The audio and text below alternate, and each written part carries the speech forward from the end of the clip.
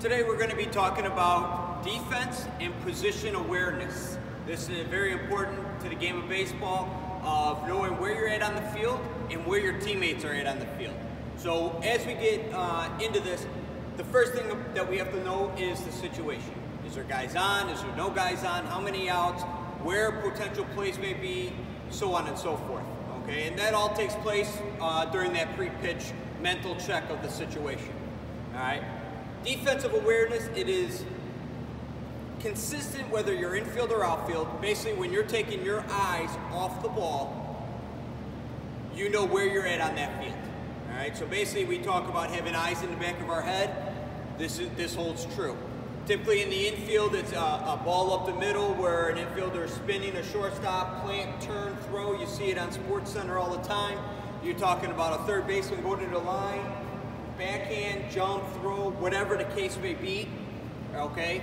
That is position awareness, that is field awareness. This is knowing where you're at on the field and knowing that when you take your eyes off that, off the, uh, off the plate or off of where you want to go with that ball, you know where you're at.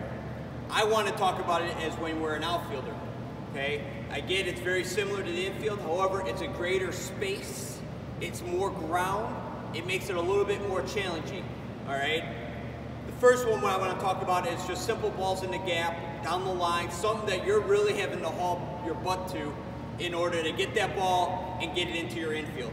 So the second I break and I'm tracking for that ball in the outfield, okay, I'm finding that ball, I want to be able to find it here, plant, stick, and throw, and know exactly where my teammates are going to be.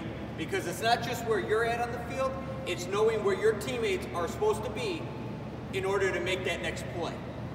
Okay, so again, this is something that it takes time. It is something that you know you have to have confidence in. We don't want to just be grabbing the ball here, chucking, and being out of control. Obviously, that does a lot more harm than good. We got to make sure we're throwing through our cutoff. That way, it gives them the opportunity whether to let it go, to catch it, whatever it is.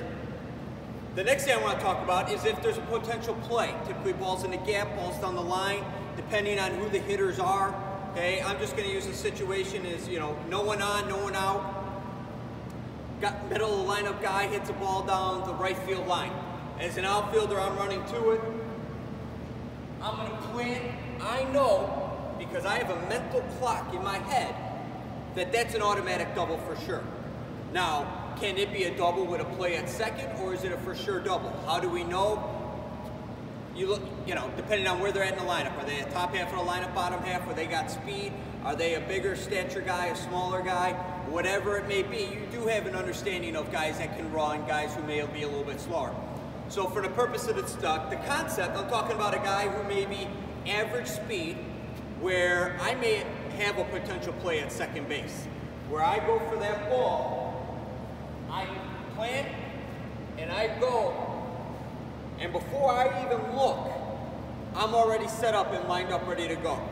So just to kind of give you an understanding, I'm here, I go get that ball, I plant.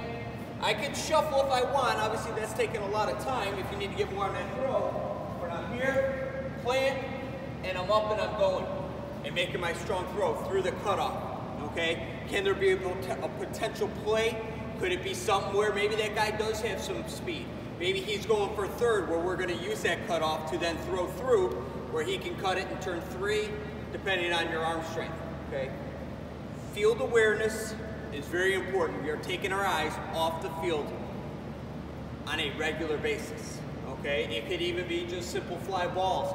Trusting on your teammates being lined up if there's a potential tag, a play at a bag, okay? If I'm going into the gap, catching a ball here, again, I'm taking my eyes off the field frequently, okay? And it's not just about you who's receiving that ball, it's about knowing where the rest of your teammates are in correlation for you to make that next play. It's just as important.